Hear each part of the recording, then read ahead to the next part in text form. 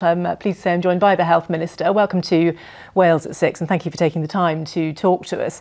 Well, we've heard just a couple of examples there of people waiting for treatment, and it's a staggering amount, almost a fifth of the population. You did announce a cash injection last week, but that's not going to be enough, and it's not going to be as radical as, as we need, is it?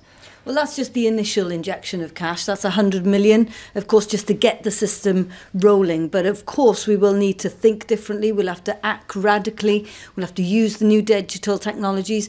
But more than anything, we need to harness the the energy that's really been used to bring people together during the pandemic. And what we know is when the NHS works together uh, with their partners, we can be really transformative. We've proved that. We've got the third best vaccination rates on the planet and we need to use that energy now to address the issue of waiting lists. Your predecessor talked about not being able to get back to pre-COVID waiting times um, for possibly five years.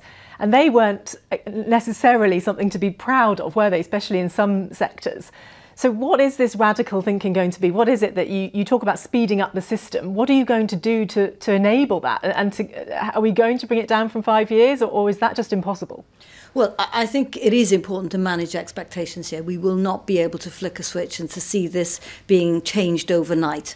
Uh, but I am intensely aware that there are literally tens of thousands of people on waiting lists who are suffering, who are in pain, and who need our support. Will they have to wait until their treatment is urgent or emergency before they get it now? There will always be clinical priorities that will be set by the NHS, which will, will determine, and of course we'll be treating things like cancer and strokes as priorities.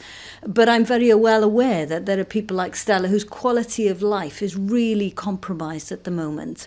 Uh, and we do need to address those issues. So um, we need to use new technologies, digital um, consultations, all of those things that, that have, we've, have worked really well during the pandemic to try and speed up the process. But I'm also intensely aware that the people working in the NHS at the moment are on their knees. You they are the exhausted. Word energy earlier. They haven't got any, have they? They are exhausted, and we've made sure that we've put measures in place to to support them. We've put a lot of mental health support in for them, uh, but of course they will need some time to recoup, recuperate, which is why we are going to have to ask the Welsh people really to to be patient because these are the only people who can really get us to a better place. So you sitting here saying people like Stella will have to, to wait. They may have to wait those two years, for instance, to have a cataract operation. That's what the situation is. And you're not in a position because there is no money to bring in new staff, to train new energised staff to take over that baton, if you like.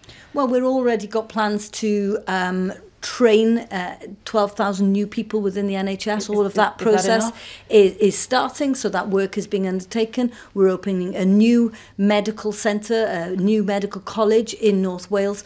all of that will be uh, brought to bear and to, to really try and clamp down and to try and clear some of this backlog. But it is going to take time, I'm afraid.